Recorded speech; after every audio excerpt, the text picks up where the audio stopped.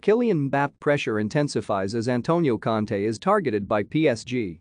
The Kylian Mbappe saga rumbles on with some top-level pressure being applied by PSG and Real Madrid. Plenty of big transfer claims in the European papers today including Antonio Conte wanted by a Champions League giant, the price on Mauricio Pochettino's head, and an Aston Villa star wanted in Italy. Pressure intensifies on Mbappe, including Macron plea the tussle for Kylian Mbappe's signature has reached epic levels, with world leaders getting involved. Spanish football daily Marca claim that Mbappe is being leaned on by French President Emmanuel Macron and the state of Qatar to extend his contract at PSG. The French Football Federation is also said to be exerting influence, although Mbappe's relationship with them is reported as very weak.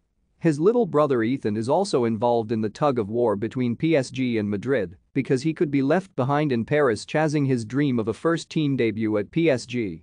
But Marca, predictably, reckon Mbappe's dream is still to play in Madrid, as detailed in his comic book. And they say a record attendance for a historic presentation at the Bernabeu are likely. Le Parisien say Real are informing people internally and externally that Mbappe is joining them. Surely this saga will soon be concluded. Poch and the money A price has been put on the head of Mauricio Pochettino the PSG boss.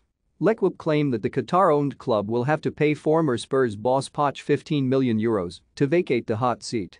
Sacking him is pricey, and Poch has not intention of resigning because he has one year left on his deal. However it is reckoned that the chance of Poch moving on are very high with a host of big names being lined up.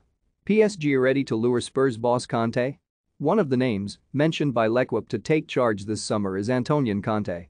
Fresh from a demolition of Arsenal, Conte is on a high and close to leading Spurs to the Champions League. Could his future in North London be determined by qualification? Joachim Low, Thiago Motta, Marcelo Gallardo are also contenders as the French champions get ready to gut their football management structure this summer.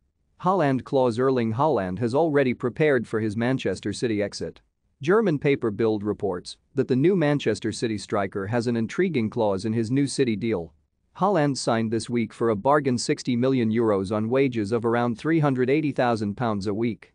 But a quirk of the contract means City have to release him for 150 million euros in two years' time, should such a bid come in and the player want out.